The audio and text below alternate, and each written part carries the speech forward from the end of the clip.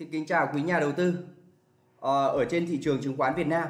Để có thể ờ, xây dựng thị trường một cách đầy đủ và bài bản thì ờ, ủy ban chứng khoán cũng như là các cái trung tâm, các cái sở giao dịch đã đưa ra rất nhiều các cái sản phẩm đầy đủ để nâng hạng, nâng cấp cái thị trường chứng khoán Việt Nam, phục vụ cho mục tiêu phát triển toàn diện cũng như là nâng hạng lên thị trường mới nổi trong tương lai. Thì một trong những cái sản phẩm rất được đáng chú ý mà rất nhiều nhà đầu tư quan tâm. Tuy nhiên họ lại chưa hiểu biết nhiều để có thể uh, tìm cách đầu tư sinh lời. Thì đó là chứng quyền. Thì hôm nay uh, đại diện cho AZFIN Việt Nam thì tôi sẽ chia sẻ đến uh, quý nhà đầu tư về cái chủ đề chứng quyền là gì và phương pháp đầu tư chứng quyền hiệu quả như thế nào. Thì uh, nội dung gồm có 3 phần như sau. Phần 1 các khái niệm cơ bản. Phần 2 vì sao chứng quyền hấp dẫn các nhà đầu tư. Phần 3, đọc vị chứng quyền, phương thức giao dịch như thế nào. Và bên cạnh đó thì tôi cũng chia sẻ về cái bí quyết làm thế nào để đầu tư chứng quyền được hiệu quả. À, thì trước tiên thì cũng điểm qua một chút. À, người ta nói rồi, à, phải đã phải từng làm được thì hãng nên chia sẻ. Thì đây chính là cái thành quả hiện nay của AZFIN Việt Nam. À, vào cái ngày à, 23 tháng 3 năm 2021 thì ở đây chúng tôi cũng đầu tư khá nhiều các cái chứng quyền. À, ví dụ như cái chứng quyền CTCP TCB 2009 thì à, lợi nhuận đâu đó là 78,3% đúng không ạ?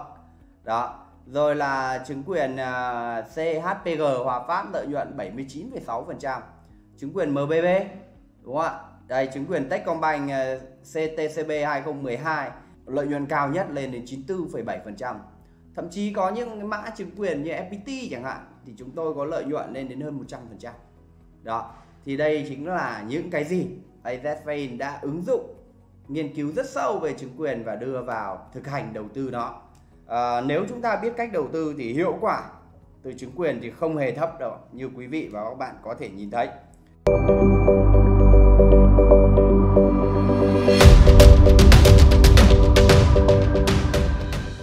À, vậy chứng quyền nó là gì? Thì ở trên đây này chúng tôi có một cái ví dụ minh họa. À, ví dụ vào ngày thứ nhất thì à, một anh A thỏa thuận là muốn mua 1.000 cổ phiếu Hòa Phát với giá 47 triệu triệu đồng tương ứng với giá 47.000 đồng trên một cổ phiếu sau 3 tháng nữa. Đó tức là anh ấy không phải mua ngày hôm nay mà anh bảo là à tôi sẽ mua ờ, ở 1.000 cổ HPG giá 47 vào 3 tháng sau tại thời điểm 3 tháng sau. Đó. Thì uh, cái thời điểm 3 tháng sau chính là cái ngày thực hiện việc thỏa thuận ý. Thì à, à, thông thường chứng quyền uh, được công ty chứng khoán phát hành. Thì à, nhà đầu tư B mua một một nghìn chứng quyền Hòa Phát với giá 5.000 đồng.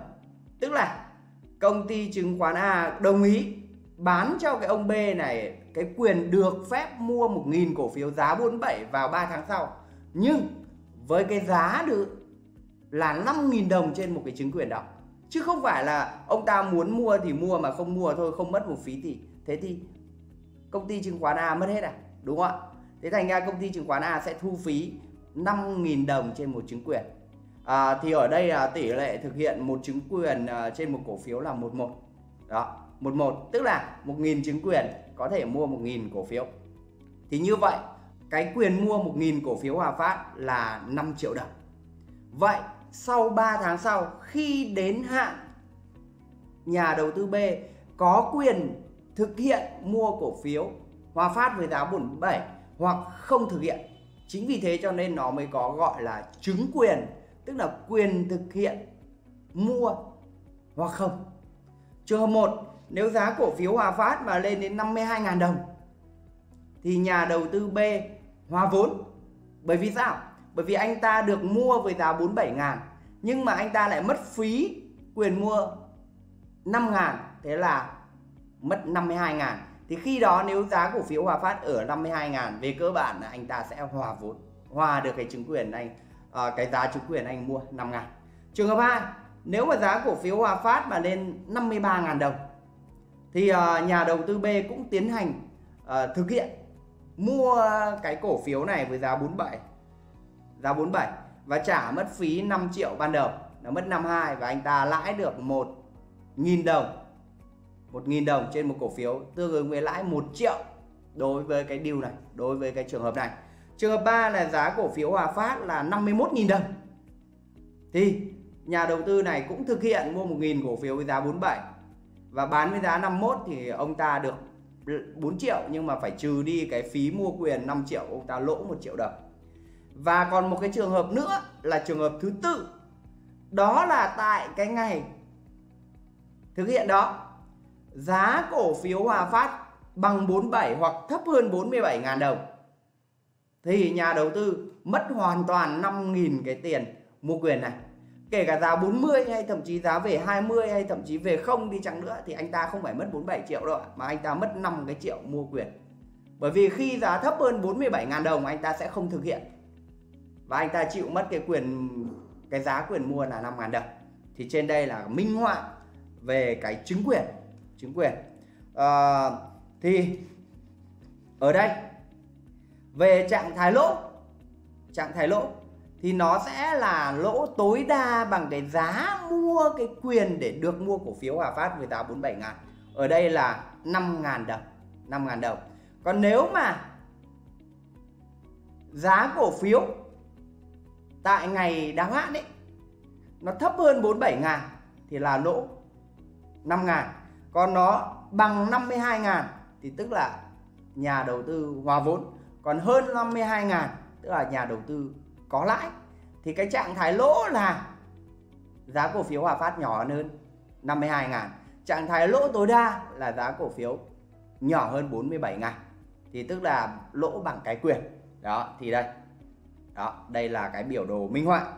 Nếu mà nhà đầu tư bán sau 2 tháng tức là không đợi đến lúc đợi đến lúc là cái chứng quyền ý à, nó có hiệu lực tức là người ta có thể bán trước khi trước khi đáo hạn đấy thì ví dụ người ta mua lúc đầu là giá 5 ngàn và hai tháng sau giá chứng quyền là 6 ngàn theo đồng chẳng hạn. Nếu người ta muốn bán thì người ta cũng sẽ bán với giá 6 ngàn và như vậy lãi 1 ngàn đồng trên một chứng quyền.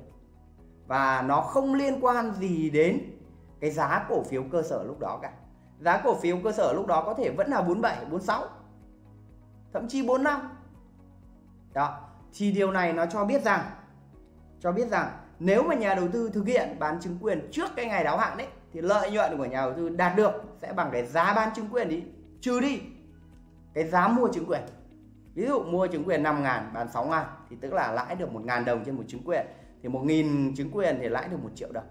Còn nếu mà nhà đầu tư nắm giữ đến ngày đáo hạn nắm giữ đến ngày đáo hạn giả định là giá chứng khoán Hòa Phát uh, lên đến 57 ngàn đồng đi thì như vậy là anh ta mua được giá 47 bán giá 57 thì là anh ta được 10 ngàn đồng đúng không ạ? Thì trừ đi cái quyền mua lúc đầu là 5 ngàn đồng thì anh ta vẫn lãi được 5.000 đồng trên một chứng quyền tương ứng với lãi 5 triệu trên 1.000 chứng quyền. Đó thì đấy là cái minh họa về cái trường hợp nhà đầu tư mua cái chứng quyền um, dựa trên cái chứng khoán cơ sở là Hòa Phát. Và giá của quyền mua là 5.000 đồng giá thực hiện là 47.000 và kỳ hạn là 3 tháng. Tỷ lệ chuyển đổi là một chứng quyền thì tương ứng với một cổ phiếu. À, tiếp theo thì à, về khái niệm chứng quyền là gì? Thì đây là một sản phẩm do công ty chứng khoán phát hành và được niêm yết trên sàn giao dịch chứng khoán có mã giao dịch riêng và có hoạt động giao dịch tương tự như chứng khoán cơ sở. Tức là nó niêm yết như một cổ phiếu và giao dịch như một cổ phiếu bình thường. Thì ở Việt Nam hiện nay quy định à, những cái chứng quyền ấy thì à, nó có cái ký hiệu chữ C ở đầu tiên rồi sau đó là đến mã cổ phiếu. Ví dụ CHPG ví dụ CMWG ví dụ CFPT CMBB CTCB CEIB vân vân. Thì công ty chứng khoán được phát hành chứng quyền là công ty chứng khoán được Ủy ban chứng khoán nhà nước cấp phép và họ phải qua rất nhiều các cái khâu về thẩm định về năng lực năng lực cũng như là công nghệ rồi là uh, các rất nhiều các cái điều kiện khá là nghiêm ngặt khác thì mới được phát phát hành chứng quyền và chứng quyền thì nó thưa, nó luôn gắn liền với một mã chứng khoán cơ sở để làm căn cứ tham chiếu xác định lại lỗ tức là chứng quyền người ta gọi là chứng khoán phái sinh là vì như thế. Tức là phải có một cổ phiếu, một chứng khoán làm cơ sở. Thì sau đó người ta mới có quyền mua cái chứng khoán ấy hay không? Đó, ví dụ như có cổ phiếu FPT thì mới có quyền được mua cổ phiếu FPT trong thời gian 3 tháng 6 tháng 9 tháng hay gì đó à, hai loại chứng quyền um, cơ bản có thể có đó là quyền mua. Quyền mua. Ở đó người ta gọi là call call warrant và quyền bán. Người ta gọi là put put warrant. Thì ờ, ở Việt Nam hiện nay ở Việt Nam hiện nay thì thì chỉ có quyền mua thôi. Quyền mua cổ phiếu thôi. Còn quyền bán thì chưa có bởi vì nó còn rất nhiều các cái yếu tố phức tạp khác cho nên quyền bán thì chưa có. Tiếp theo là về giá của chứng quyền thì uh, như thế nào? Khi công ty chứng khoán IPO tức là phát hành cái chứng quyền ấy ra lần đầu ấy thì uh, sẽ là ở một mức giá nhất định. Họ có các cái công thức tính toán để sao cho giá đó đảm bảo cho họ có được cái lợi nhuận nhất định. Có được lợi nhuận nhất định. Và cái rủi ro tương đối thấp thì nó có một mức giá nhất định. Thì sau niêm yết thì cái giá chứng quyền nó sẽ biến động dựa vào cung cầu cũng như dựa vào cái mã chứng khoán cơ sở biến động như thế nào ở trên sàn. Đó nó sẽ biến động như một cổ phiếu bình thường. Đó thì uh, đấy là về giá của chứng quyền. Uh, vậy vì sao mà chứng quyền nó lại hấp dẫn nhà đầu tư?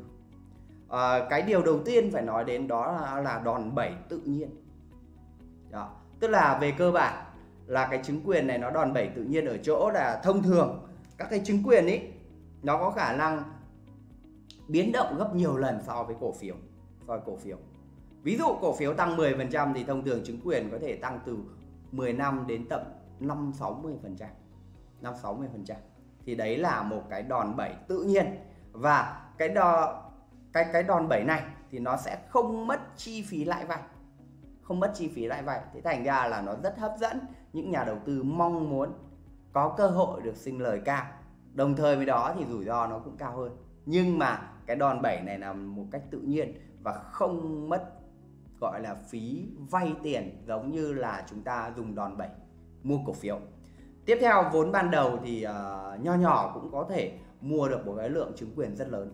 Thì chỉ khoảng 10% so với chứng khoán cơ sở thôi. Rất nhiều cái chứng quyền nó chỉ bằng 10% thôi.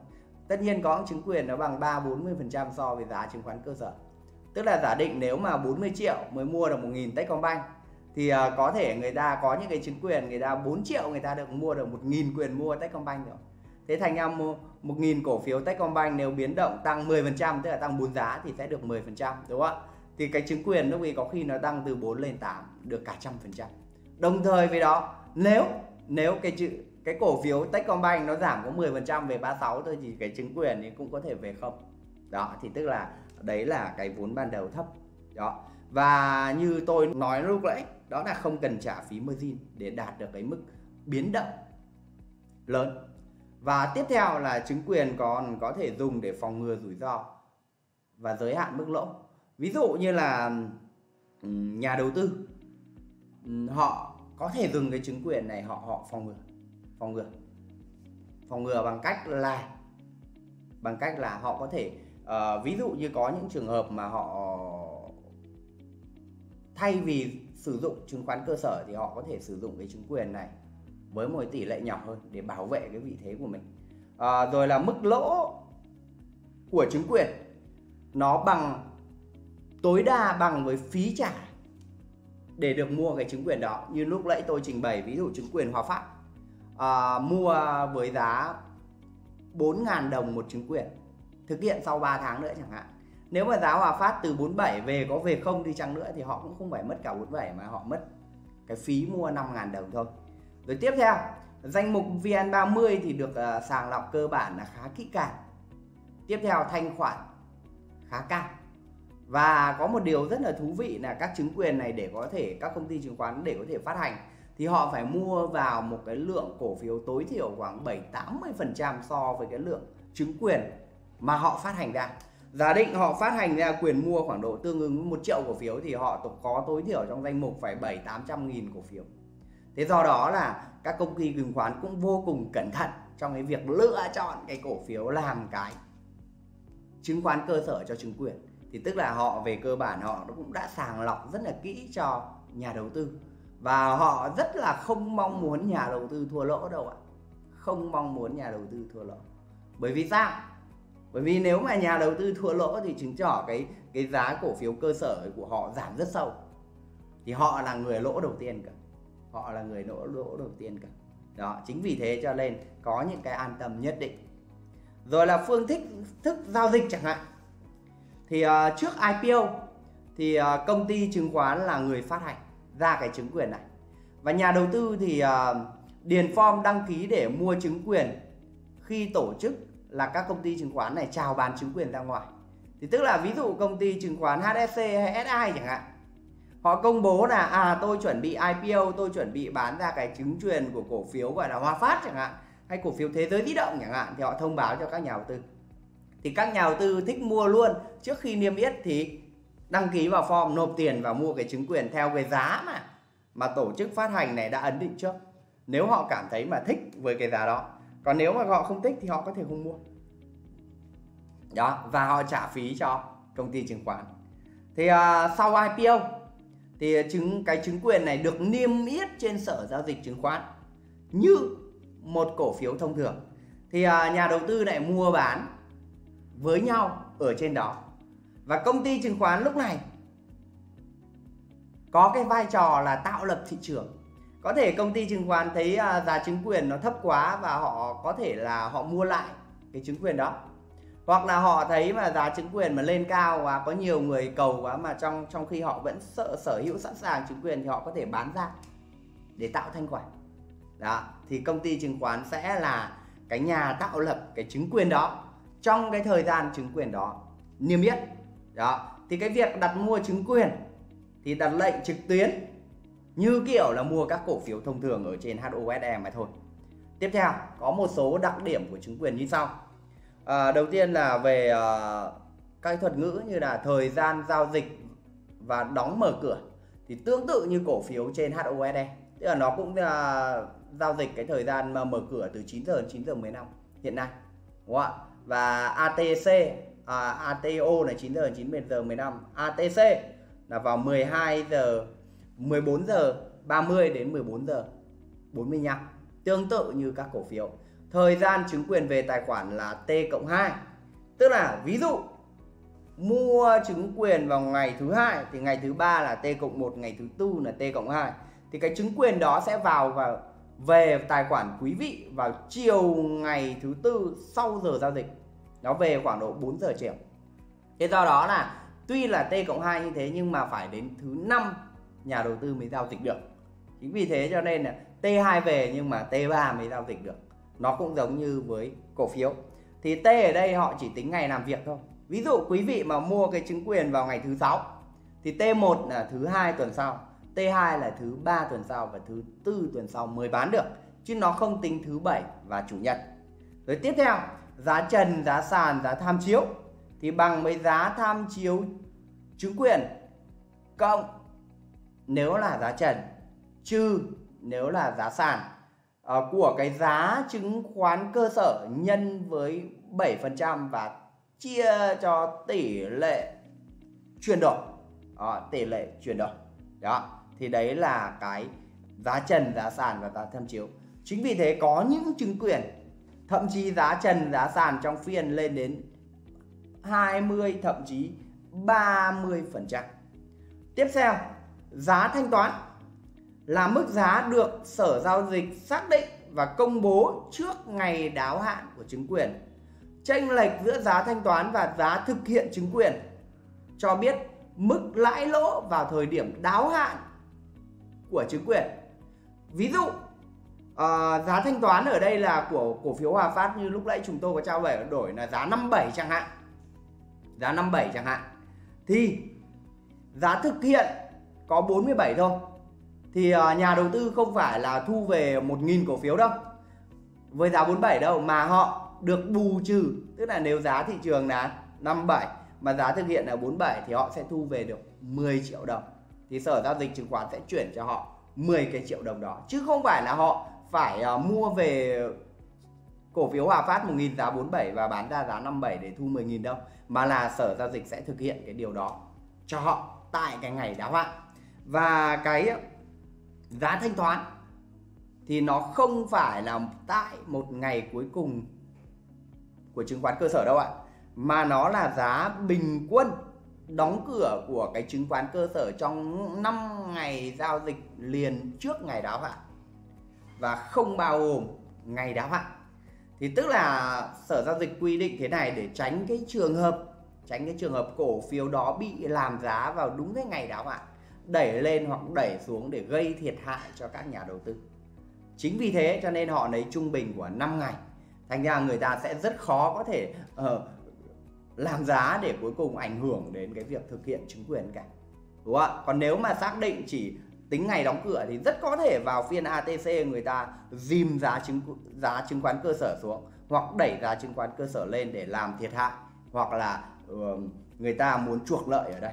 Thì uh, sở giao dịch họ đã quy định đó là 5 ngày.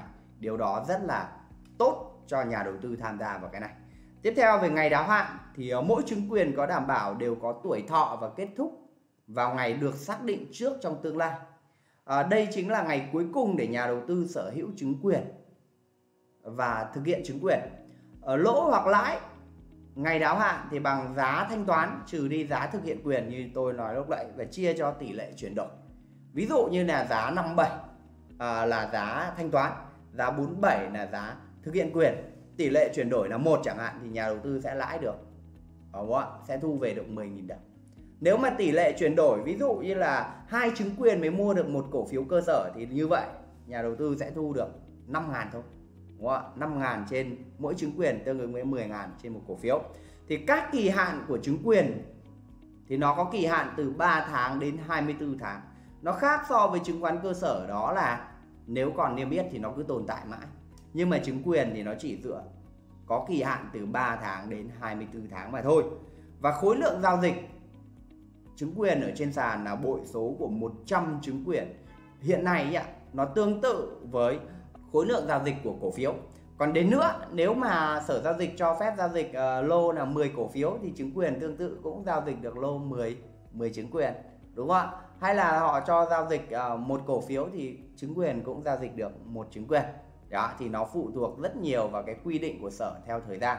Trong năm 2020 thì rõ ràng bộ số giao dịch nó có 10 10 chứng quyền hoặc 10 cổ thì uh, đầu 2021 thì họ mới thay đổi là bộ số của 100 đó thì nó phụ thuộc uh, vào cái quy định chung của sở giao dịch thì nó giao dịch như cổ phiếu thông thường.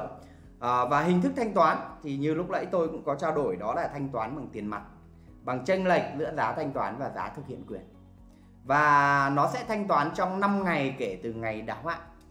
Đúng không ạ? Sẽ thanh toán tiền trong 5 ngày kể từ ngày đáo hạn. À, tỷ lệ chuyển đổi. À, tỷ lệ chuyển đổi thì cho biết là bao nhiêu chứng quyền cần có để à, có được một chứng khoán cơ sở. Ví dụ tỷ lệ chuyển đổi là 11 tức là 10 chứng quyền thì mới có có được một chứng khoán cơ sở lợi ích của một chứng khoán cơ sở đó hay là tỷ lệ 11 như Hòa Phát lúc nãy chẳng hạn phát hành một chứng quyền thì tương ứng với lợi ích của một cổ phiếu cơ sở. Thì tỷ lệ 11 thì tức là phát hành 10 chứng quyền thì mới có lợi ích tương ứng với một cổ phiếu cơ sở. Thì trên đây là một số đặc điểm. Và tiếp theo à, vậy thì chúng ta lấy thông tin chứng quyền như thế nào ở trên bảng giá? Thì ở đây chúng tôi lấy ví dụ đây là bảng giá iBot của công ty chứng khoán SI chuyên về chứng quyền thì quý vị và các bạn có thể bấm vào cái mã chứng quyền đó bấm vào mã chứng quyền đó và à, bấm vào cái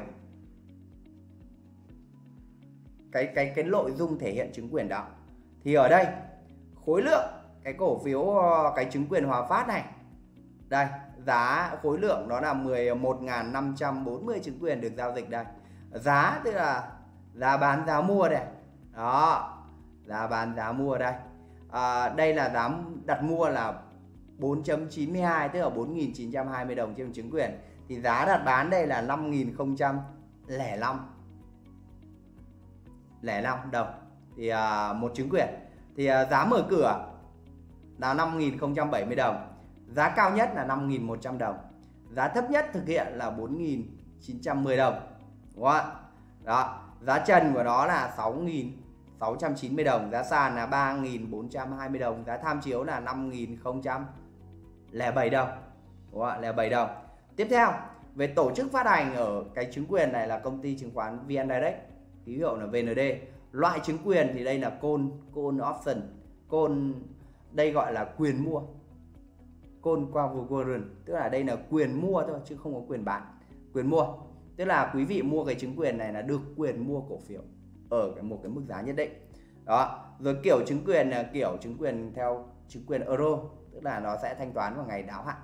Rồi tiếp theo giá thực hiện cổ phiếu Hòa Phát này giá thực hiện là giá 42 tức là à, sau này khi ngày hết hạn thì à, quý vị sẽ được à, à, thanh toán bù trừ trên cái giá cơ sở 42 nếu được 52 thì quý vị được 10.000 đồng trên mỗi đơn vị cổ phiếu đúng không tỷ lệ chuyển đổi là 2 trên 1 tức là hai chứng quyền tương ứng với một cổ phiếu một cổ phiếu. Tiếp theo à, rồi đây là chứng khoán cơ sở đó là Hòa Phát. À, giá chứng khoán cơ sở hiện tại là 46.750 đồng nó giảm 0,4 à, nghìn đồng tức là 400 đồng tương ứng 0,8% à, rồi là điểm hòa vốn nếu mua cái chứng quyền này với giá hiện tại giá hiện tại à, thì điểm hòa vốn đó là 52.100 đồng. Tức là đến bao giờ khi đáo hạn giá hòa phát mà lên được 52.100 đồng thì quý vị mới hòa vốn, mới hòa vốn. Trong khi giá hiện tại là 46.750 đồng. Khối lượng phát hành ra là 400.000 chứng quyền, đúng không ạ? 400.000 chứng quyền. Ngày đáo hạn là ngày mùng 6 tháng 7 năm 2021 ngày giao dịch cuối cùng là ngày mùng 2 tháng 7 năm 2021 bởi vì người ta còn lấy 5 ngày để làm làm cái ngày bình quân để thanh toán thanh toán. Đó đó. thời gian đáo hạn là 106 ngày tức là từ lúc phát hành đến lúc nó đáo hạn. Đến ngày mùng 6 tháng 7 này là 106 ngày. À, ngàn đồng. Thì ở đây người ta lại có một cái biểu đồ cho quý vị. À, biểu đồ vàng này là giá của chứng khoán cơ sở. Đúng không ạ? Biểu đồ cái đường xanh này là giá của chứng quyền. Nó cũng biến động rất kinh khủng đây đúng không ạ? Rất kinh khủng và hiện nay nó tranh hơn so giá cơ sở khá nhiều, đúng không ạ? Vân vân. Thì trên đây là tôi đã minh họa về cái cách đọc chứng quyền ở trên bảng giá. Và chúng tôi thấy rằng là có trên bảng giá của SDI này là chúng ta xem nhiều thông tin nhất đầy đủ nhất tiếp theo là những yếu tố ảnh hưởng đến giá chứng quyền. Thì gồm có bốn yếu tố chính như sau. Đầu tiên là giá thị trường của chứng khoán cơ sở và giá thực hiện quyền. Là hai yếu tố quan trọng để xác định giá trị nội tại của chứng quyền mức độ chênh lệch của hai yếu tố này sẽ tác động trực tiếp đến giá chứng quyền. Đúng không? nếu mà ví dụ như này giá thực hiện cổ phiếu Hòa Phát có 42.000 đồng mà giá chứng khoán cơ sở bây giờ lên đến 50.000 đồng chẳng hạn thì như vậy giá để mua cái chứng quyền nó sẽ phải rất cao. Rất cao. Đúng không ạ?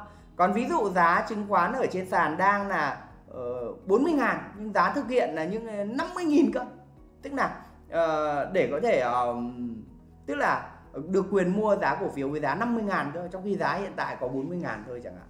Thì như vậy giá của chứng quyền sẽ rất thấp rất thấp. Tức là giá cơ sở giá chứng giá cơ sở ấy càng cao so với giá thực hiện thì giá chứng quyền càng cao.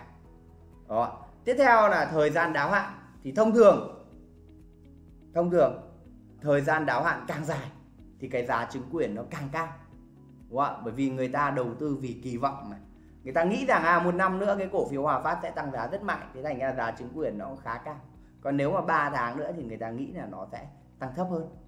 Đơn giản vậy thôi. Yếu tố thứ ba đó là lãi suất. Thì lãi suất tăng thì sẽ làm cho yêu cầu lợi nhuận cao hơn, từ đó giá chứng quyền sẽ thấp hơn. Còn lãi suất thấp thì người ta lại yêu cầu lợi suất cũng thấp hơn, thì giá chứng quyền lại cao hơn. Đó, ví dụ đấy đúng không rồi tiếp theo về cái cuối cùng cũng là cái quan trọng nhất đó là kỳ vọng về sự tăng trưởng trong tương lai của chứng khoán cơ sở. Nếu mà người ta kỳ vọng tương lai cái chứng khoán cơ sở tăng trưởng mạnh phát triển mạnh thì cái giá chứng quyền sẽ rất cao. Và ngược lại và ngược lại. Tiếp theo à, vậy thì rủi ro đầu tư cái chứng quyền này là gì? Thì đầu tiên là rủi ro thanh toán từ nhà phát hành. Nhà đầu tư có thể không được thanh toán khoản lời vào ngày đáo hạn nếu tổ chức phát hành không đủ khả năng thanh toán.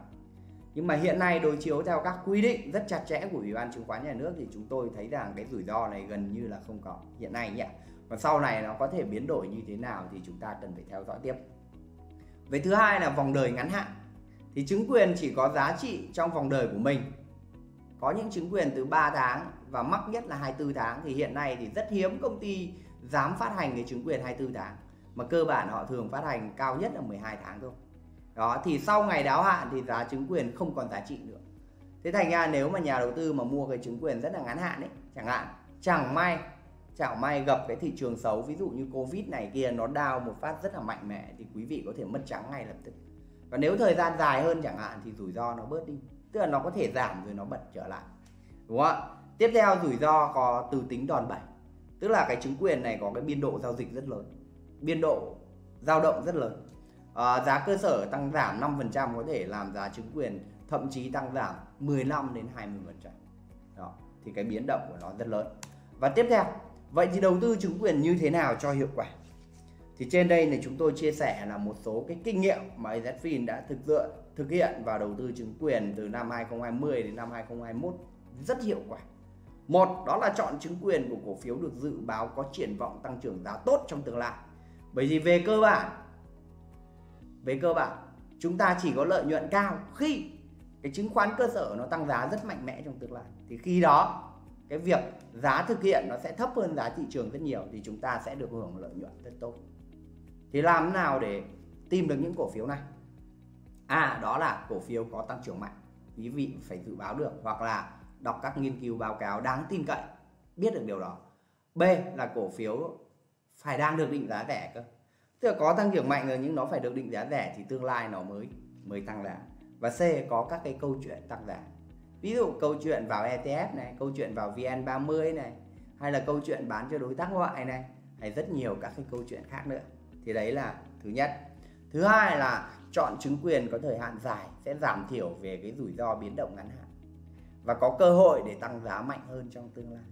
Bởi vì trong dài hạn, trong dài hạn thì nó cũng một là nó bớt đi được cái sự biến động ngắn hạn. Có khi là mua chứng quyền chỉ còn vài ngày nữa đáo hạn, đùng cái thị trường gặp cái tin gì xuống xấu thế này chúng ta hỏng rồi. Đúng không ạ? Nhưng mà dài hạn thì nó cho phép chúng ta có thời gian sửa chữa. Sửa chữa. Đúng không ạ? Rồi trong dài hạn thì ờ, cái cổ phiếu hoàn toàn nó có thể, nếu mà nó bị thị trường nhìn nhận sai thì hoàn toàn nó có thể trở lại giá trị rất là khủng khiếp. Và thứ ba là mua khi có sự sụp đổ của thị trường chứng khoán hoặc thị trường chứng khoán điều chỉnh rất mạnh thì đây là những người lúc mà cái cơ hội mua chứng quyền với giá bèo bọt và có thể kỳ vọng tăng giá tốt. Nhưng quý vị và các bạn lưu ý lưu ý đây nó cũng là con dao hai lưỡi. Nếu quý vị mà mua không cẩn thận khi thị trường nó mới chớm điều chỉnh và quý vị đã mạnh tay vào ấy, và nếu nó đi rất xa thì quý vị cũng có thể mất về không. Đó và lưu ý là cái điều kiện thứ ba này nó phải dựa trên cơ sở hai cái điều kiện trước rồi. Và điều kiện thứ tư là giá hòa vốn thì tốt nhất là mua khi cái giá chứng quyền đó có cái mức giá hòa vốn thì gần hoặc thấp hơn giá trị thị trường chứng khoán cơ sở thì càng tốt. Đó. Thì khi quý vị áp dụng cả bốn cái nguyên tắc trên thì tôi tin rằng hiệu quả đầu tư chứng quyền của quý vị sẽ rất cao rất cao. Thì đây là những cái kinh nghiệm mà thực tế thực tiễn chúng tôi áp dụng và đạt được cái lợi suất rất là cao từ cái chứng quyền từ năm cuối 2020 đến nay. Và trung bình các cái chứng quyền của chúng tôi thì lợi nhuận đâu đó khoảng độ 7 80% sau khoảng vài tháng. Tất nhiên, cái việc lợi nhuận này nó chỉ diễn ra ở những cái lúc thị trường thuận lợi thôi. Thế thành ra quý vị lưu ý rằng nó không có ý nghĩa, có nghĩa là trong tương lai quý vị có thể kiếm được một tiền một cách nhanh chóng như thế. Thế thành ra là vẫn phải rất là cẩn thận và nếu quý vị chưa chắc về chứng quyền thì đừng lên đụng vào chứng quyền mà hãy quay lại chứng khoán cơ sở cho chắc đi đã. Bao giờ nghiên cứu thật kỹ thật bài bản thì hãy tham gia vào cái chứng quyền này. Thì trên đây là tôi đã trao đổi về cái uh, chứng quyền. Quý vị và các bạn có những cái thắc mắc gì thì hãy comment phía dưới để chúng tôi giải đáp cho quý vị. Thì xin chúc quý vị và các bạn thu được nhiều những kiến thức hữu ích và ứng dụng thành công trong đầu tư cổ phiếu đầu tư chứng quyền của mình. Xin chào và hẹn gặp lại.